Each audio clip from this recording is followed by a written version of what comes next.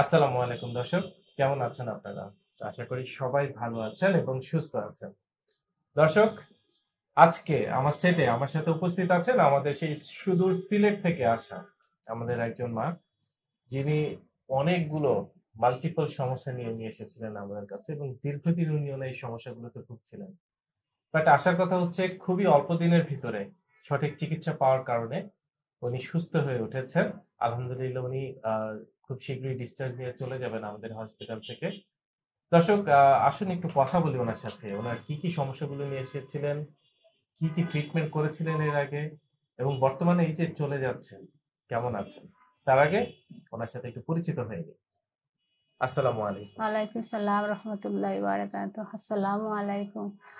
আমার পরিচয় হলো সিলেট মুলেবাজার ডিস্ট্রিক্টের কমলগঞ্জ থানা শমশনগর আমার বাসা। আমার হাজবেন্ডের নাম আব্দুল রফ চৌধুরী ছেলেদের নাম রফ চৌধুরী রুজেল চৌধুরী। আপনার নাম? আমার নাম হলো ফাতেমা চৌধুরী। আচ্ছা একজন গৃহিণী তো আপনি? জি গৃহিণী আমি। আচ্ছা আমরা জানি যে আপনি আমাদের এই ডিপিআরসি হসপিটালে অনেকগুলো সমস্যা নিয়ে এসেছেন জি জি। সেই সমস্যাগুলো কি একটু খুলে বলতে পারেন যে কি কি সমস্যাগুলো নিয়ে এসেছেন সমস্যা সমস্যা পাঁচ ছয় বছর যাবত আমি হাঁটুর ব্যথা কোমরের বাম সাইডে ব্যথা তারপরে আস্তে আস্তে শোল্ডারে ব্যথাও আসছে। আচ্ছা। হ্যাঁ, আমি মানে ডাক্তারও দেখাইছি খাইছি ওষুধ পুরা সুস্থ হইতে পারছি না। আচ্ছা। হঠাৎ স্যারের ভিডিও দেখিয়া অনলাইনে আমি ইয়ে করিয়া অ্যাপয়েন্টমেন্ট করিয়া আসছি স্যারের ওখানে। আচ্ছা আমরা যদি একটু প্রথম দিকে ফিরে যাই আপনি বলেছেন গত পাঁচ ছয় বছর যাবত আপনার এই সমস্যাটা শুরু হয়েছে।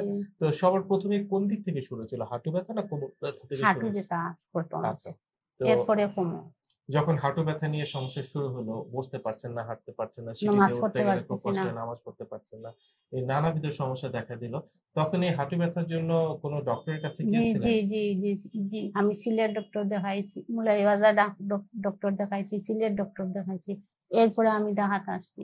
আচ্ছা তো যখন ডক্টর দেখিয়েছিলেন তারা কি বলেছিলেন আপনাকে? বলেছিল যে হাড্ডি হয় আমার। আচ্ছা ক্যালসিয়াম শর্ট হাড্ডি হয়। আচ্ছা। আর থেরাপি দেওয়ার জন্য। পরে আমি সিলেট থেরাপিও দিছিলাম। হুম হুম। তারপরে কোনো কয়েকদিন গেছিল ভালো তারপরে আবার যে মানে আশানুরূপ কোনো আপনি রেজাল্ট পান রেজাল্ট পাইছি না। আচ্ছা যত দিন যাচ্ছে দেখছেন আরও খারাপ খারাপের যাচ্ছে এবং এর মাঝখানে দেখলেন যে হঠাৎ করে আবার কোমর ব্যথা শুরু হলো। কোমর ব্যথা শুরু হয়েছে। যখন কোমর ব্যথা হলো তখন কি আবারও ডক্টরের কাছে গিয়েছিলেন? কোমর ব্যথা হ্যাঁ আবার আসছি। আমি ওই দুই মাস আগে আসছি ডাহাত ডাহাত আচ্ছা। আসিয়া আমি ট্রিটমেন্ট লইয়া গেছি। ঔষধ দিছে তারা ওরা। না এই ডিপিআরসি তে? জি না আচ্ছা। অন্য হসপিটালে আচ্ছা তখন ঢাকারই অন্য হসপিটালে আচ্ছা। আমি দুই মাস আগে দেখাইয়া তো ওরাও বলছে যে হাড্ডি হয় ওষুধ দিছে খাইছি। খাওয়ার পরেও কোনো সমাধান পাইছি না। ও হঠাৎ হঠাৎ স্যারের ভিডিও দেখি ফেসবুকে। আচ্ছা। দেখেও আমি অনলাইনে দেখেছি। অ্যাপয়েন্টমেন্ট নিয়ে আসছি।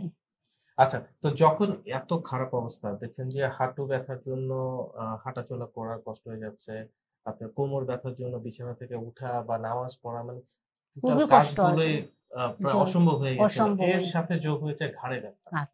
মানে লাইফ যোগ হয়েছে ডাইন হাতের শোল্ডার শোল্ডার মানে ডান হাতে যে কোনো কাজ করবেন হাত মানে আমরা তো যে হাত কোনো কাজ উঠাইতে সবার পারতাম আগে না। হাত দিয়ে কাজ করি। কাজ করে। আর- তারপরে ডান হাত। ডান হাত। উঠাইতে পারতাম না। খুবই কষ্টকর হয়ে গেছিল। নিজে গোসল করা জামা কাপড় পাল্টানো সাংসারিক কাজগুলো কিছু করা কষ্ট সবকিছু প্রায় একরকম স্থবির হয়ে গিয়েছিল।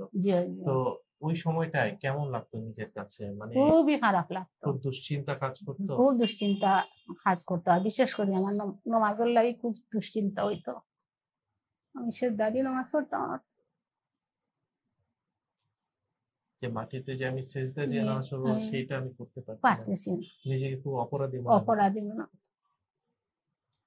তো এই যে অনলাইনের মাধ্যমে জানতে পারলেন যে এই ডিপিআরসি হসপিটালে চিকিৎসা হয় সেই সুদূর সিলেট থেকে চলে আসলেন। জি। স্যার দেখার পর আপনাকে কি বলেছিলেন? স্যার বলেছিলেন আমাকে মারাই করার জন্য। মারাই করিয়া রোগ নির্ণয় করিয়া বললেন পিআইডি পিএলআইডি আমার। আচ্ছা। রোগ আরও দুই একটা রোগ বলছেন আমার মনে নাই। এরপরে আমি বললেন যে ভর্তি হওয়ার জন্য দুই সপ্তাহের জন্য। আচ্ছা। ওখানে সেবা দিবা। এরপরে আমিও দুই সপ্তাহের জন্য ভর্তি হই। আচ্ছা। তো আজকে এই যে একটা চিকিৎসা শেষ একটা অবস্থায় কেমন আছেন আলহামদুলিল্লাহ আলহামদুলিল্লাহ খুবই ভালো আছি। আচ্ছা সেই হাঁটা চলা করা সিঁড়ি দিয়ে জি, করা আমি কালকেও কালকেও নিচ থাকি উপরে উপরে থাকি নিচে সকালে মানে প্র্যাকটিস করে আগে সেই ব্যথাগুলো সেই আলহামদুলিল্লাহ। কষ্টগুলো জি না। এখন আর নাই। জি না। এই দীর্ঘদিন পর এই যে কষ্ট থেকে একটা মুক্তি আজাব থেকে একটা মুক্তি জি আল্লাহ কেমন লাগছে আপনার কাছে? খুবই আলহামদুলিল্লাহ ভালো লাগছে। আমি সবচেয়ে দোয়া করি সর্বপ্রথম। ডক্টর শফিউল্লাহ সাহেবের জন্য দোয়া করি। উনি যে একটা সেবা দিচ্ছেন, আমরা সেবা দিয়ে সুস্থ করছেন আল্লাহ রহমতে আমরা আমরা উনার জন্য দোয়া করি। এরপরে এখানে যে নার্সগুলো আছে, তারারও খুব ভালো সেবা ওরা আছে, সেবা দিচ্ছে আমরা। তারপরে ওদের থেরাপির স্টাফের মেয়েরা, এরাও খুবই ভালো মেয়েরা, খুবই ভালো একটা থেরাপি দেয় তারা। আমার স্যার যে আছিল, ও খুব ভালো, সুন্দর আমার থেরাপি দিছে। খুবই ভালো হয়েছে। ওর জন্য আমি দোয়া করি ওর ভবিষ্যৎ যেন উজ্জ্বল হয়। আমার জন্য আপনারা দোয়া করবা যাতে আল্লাহ আমারে বাকি জীবন সুস্থ রাখেন। আর যখন আল্লাহ দুনিয়াটাই উঠাই নিবা যখন আল্লাহ বেশ দিবা তখন আল্লাহ দুনিয়াটাকে কলমার সাথে উঠাই আলহামদুলিল্লাহ আর কি চাই? আল্লাহ হাফেজ। আসসালামু আলাইকুম। আমরা সবাই চাই জীবনের শেষ বয়সে সব সময় আমরা চাই সুস্থ থাকতে ভালো থাকতে বারবারই একটা কথাই উঠে আসছে, সেটা হচ্ছে সঠিক চিকিৎসা এবং সঠিক চিকিৎসাটা যখন আমরা পাই, তখনই দেখা যাচ্ছে যে আমরা সুস্থতা হতে আমাদের বেশি আর সময় লাগে না। আর যখনই আমরা সুস্থ হয়ে উঠি, আলহামদুলিল্লাহ। আমাদের থেকে সুখী মানুষ আর পৃথিবীতে কে আছে? তো আমরা সবাই সুখী থাকব, ভালো থাকব, সুস্থ থাকব, সুস্থ জীবন যাপন করব। ভালো থাকবেন, সুস্থ থাকবেন। আসসালামু আলাইকুম।